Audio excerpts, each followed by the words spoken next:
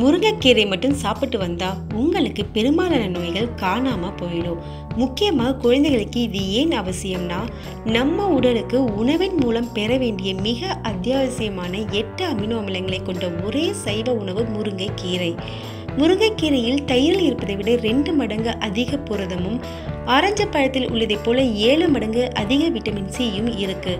மற்ற கீரைகளைப் போல் இல்லாமல் காய்ந்த முருங்கை இலைகளிலும் ஊட்டச்சத்துக்கள் அதிகம் இருப்பதுதான் இதோட ஸ்பெஷல் முருங்கைக்கீரை வேக வைத்த நீரை குடிக்கிறதால என்னென்ன நன்மைகள் கிடைக்கும் தெரியுமா?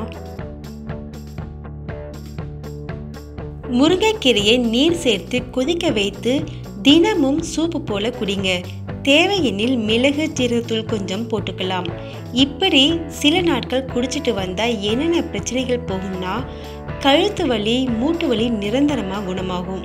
சக்கரவியாதி சளி ஆஸ்துமா இரத்த சோகை உடல் சூடு மலச்சிக்கல் மலட்டுத்தன்மை தலைமுடி வளர்ச்சியின்மை நரைமுடி அல்சர் வாய்ப்புண் பற்கள் உறுதியின்மை தலைவலி தாய்ப்பால் சுரப்பின்மை இதெல்லாம் கூட குணமாயிடும்னு சொல்றாங்க.